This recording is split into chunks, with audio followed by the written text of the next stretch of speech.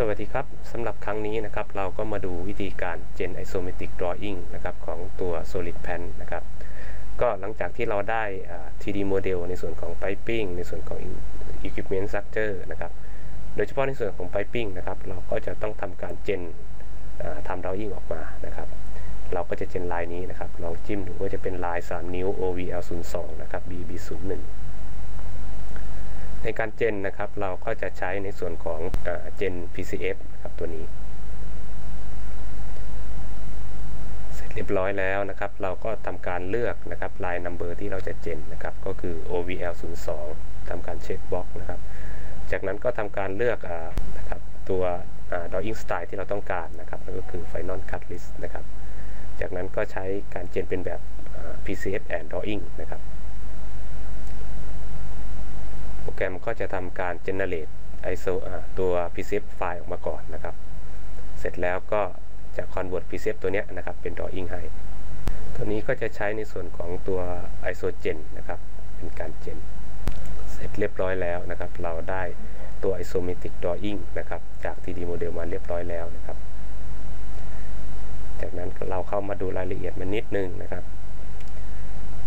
ในนี้นะครับก็จะบอก coordinate ต่างๆนะครับของตัวโมเดลนะครับ แล้วก็บอกในส่วนของ number ต่างๆ ของตัว part นะครับ แล้วก็ระยะนะครับ ให้ระยะนะครับ แล้วก็ส่วนนี้ก็จะเป็นในส่วน drawing อื่นๆนะครับ ตัว symbol อื่นๆ ทีนี้มาดูในส่วนของตาราง bill material บ้างนะครับ ในตาราง bill material นะครับเขาก็จะแสดงไว้นะครับ อันนี้ก็จะเป็นท่อ 3 นิ้วนะครับ material เป็น A 1 0 6เกรด B นะครับ ยาว 6 เมตร เป็นความยาวรวมนะครับ เสร็จแล้วก็จะเป็น straight tee นะครับ ขนาด 3 นิ้วคูณ 3 นิ้วนะครับ 1 ตัว ต่อไปเป็น reducer concentric นะครับ ขนาด3คูณ2นะครับ 2 ตัว เป็น a b o 6ตัวนะครับเป็น a b o 45 1 ตัวนะครับเป็นแฟง3ตัวนะครับเป็นขนาด 3 นิ้ว แล้วก็ขนาด 2 นิ้วอีก 1 ตัวนะครับอีก 2 ตัวนะครับสำหรับแฟงแล้วก็ในส่วนของสวิงเช็ควาลนะครับก็ 1 ตัวนะครับแล้วก็เกตวาลอีก 1 ตัว ด้านล่างตรงนี้ก็จะเป็นในส่วนของกัตเก็ตกับโบนะครับกัตเก็ตก็จะเป็นกัตเก็ตนะครับ ขนาด 3 นิ้ว 4 ตัวนะครับ 2 นิ้วนะครับ 2 ตัวนะครับ แล้วก็ ต่อมาในส่วนของ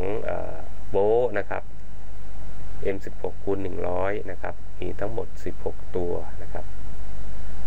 แล้วก็ด้านล่างเป็น M16 คูณ90 อีก 8 ตัว ด้านล่างนี้ก็จะเป็น cut list นะครับ pipe cut list ในส่วนของ pipe cut list นะครับให้เรามาดูในส่วนของตัวเลขที่อยู่ในวงเล็บนะครับนะครับวงเล็บ 1 วงเล็บ 2 วงเล็บ 3 นะครับ วงเล็บ 1 ก็ pipe cut list อันที่ 1 นะครับ ก็คือขนาดท่อขนาด 3 นิ้วนะครับ ยาว 134 นะครับ ต่อมาตัวที่2นะครับ ท่อนที่ 2 3 นิ้วเช่นเดียวกัน ยาว 174 มิลนะครับ ตัวที่ 3 นะครับ ก็ขนาด 3 นิ้วยาว 1,222 มิลครับ นี่ก็จะเป็น pipe cut list ของตัว